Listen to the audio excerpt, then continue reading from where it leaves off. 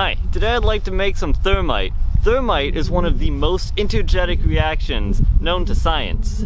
Here's the balanced equation for a typical thermite reaction using iron 3 oxide along with very fine aluminum shavings. I'll need to wait for dusk for the best viewing, but last things first, here's a clip of us setting off 100 pounds of thermite. Enjoy.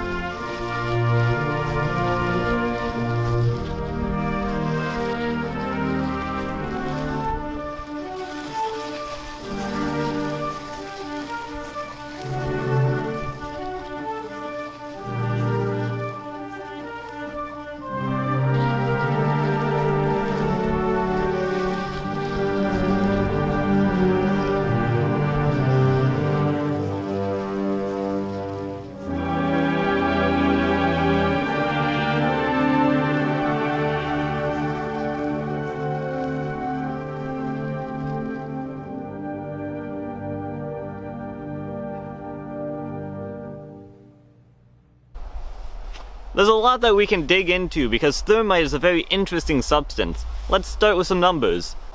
Depending on the fineness of the thermite mixture, it has an ignition temperature somewhere around 3000 degrees Fahrenheit, and once it starts burning, it burns hot, around 4000 degrees Fahrenheit.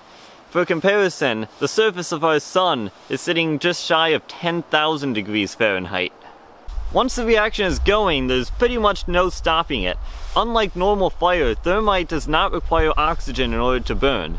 Well, it does, but not from the air. Did you know that there are actually several different mixtures for thermite? The one that people are most familiar with, and the one that I'm going to use here today, is a mixture of aluminum and iron oxide. So here we have the chemical equation. We have iron oxide and aluminum yields iron and aluminum oxide. The oxygen is always seeking the lowest potential energy, which would be to be bonded to the aluminum. However, it's already bonded to the iron, so that's where the heat of ignition comes into play. It needs a little extra energy to leave the iron so it can go to a lower potential energy bonded to the aluminum, and doing this it releases energy in the process. Once the reaction begins, it gives off light and heat, more than enough to start a chain reaction. To figure out exactly how much energy is being given off, we need to know two things, the balanced chemical equation and a table that shows us the standard enthalpies of formation for the uh, compounds that we're using. We find that the standard enthalpy of formation for iron oxide and aluminum oxide are 822.2 and 1669.8 respectively.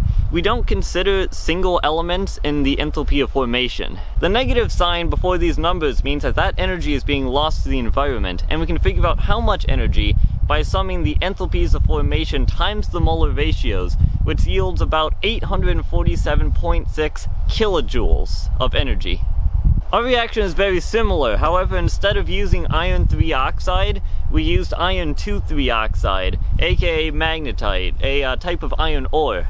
It's important to know which kind of iron oxide that you're using because it'll change the molar ratios in the balanced chemical equation. Now the ignition of thermite is actually the tricky part, because not much short of an oxyacetylene torch is going to be enough to kick the reaction going, and uh, show of hands, who has one of those lying around? Our first idea was to use a slow burning flash powder, a combination of aluminum powder, potassium nitrate, and sulfur, the latter of which can be purchased at any gardening store. Perhaps I'll do another video later down the road and uh, go into this in more detail. Normally this method would work just fine, however the aluminum that we were using was very coarse, and thus it required a higher ignition temperature. So what we ended up doing is making some finer thermite that would ignite at a lower ignition temperature, and the heat of that would be stepped up to the larger thermite reaction. In order to ignite this finer thermite powder, we used a sparkler. A magnesium strip would also probably work just fine. You may have noticed that the fine thermite powder is a little more explosive than the rest. Size and surface area of these particles has a lot to do with the speed of the reaction. Now typically thermite is not explosive, however there are some ways that you can get it to release its energy a lot faster. You may have noticed that when the thermite started burning through the bottom of our steel bin, there was a strange green flame. That actually wasn't caused by the thermite. Although we were a little confused for a little bit, it turned out that the steel bin we were using was galvanized, covered in zinc, and when zinc burns, its flame is a brilliant green color. Yeah. I gotta spend a burning thing. Do you want a penny tank? Ready? Here we go. Literally burning. Happy New Year! It is. Well, your wish won't come true. That's fine.